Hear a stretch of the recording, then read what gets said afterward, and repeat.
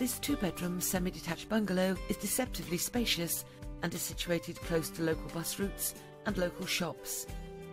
Internally, the accommodation offers an open plan lounge and there is a fitted kitchen, which has a range of wall and base units with work surfaces over. There is the added benefit of a conservatory, which provides views and access to the rear garden. There are two bedrooms and a large bathroom, which includes a bath and a separate shower cubicle. Outside the rear garden features a patio area, which leads to a lawn. For more information, please contact Anthony Martin today.